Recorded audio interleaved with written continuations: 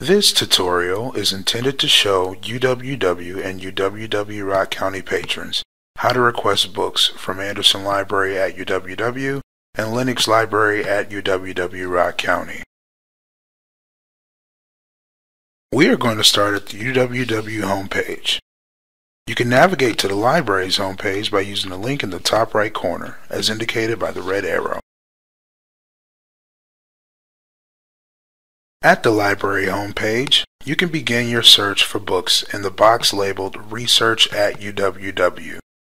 Type in your search term in the text box and then use the drop-down menu to select Books, Media, and More, UW Whitewater.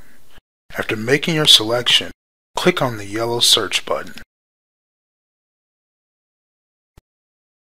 The search will return a list of items that are at Andersen and or Lenox Library. At the bottom of each record, there is information about where the book is held, what collection it belongs to, the call number, and its availability. The color green means that the item is available for checkout. Click on any part of the record to see more information about the item.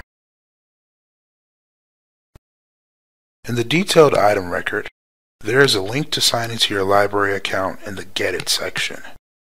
If you aren't signed into your library account, you will be unable to make any kind of request. Click on the link to sign in. A pop-up box will ask what type of patron you are. Select the UWW student staff login.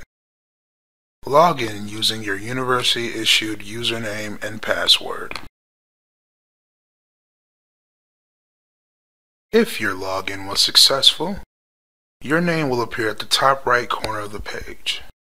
To request the book, click on the request link in the Get It section. The dialog box will ask you to choose a pickup location using the drop-down menu. Patrons are able to pick up at either library.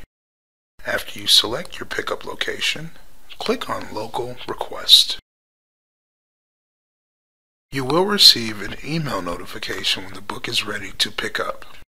If the lending library is unable to fill the request, you will receive an email that provides a link to request the item via the interlibrary loan system instead. Thanks for watching. Don't hesitate to contact the library with any questions.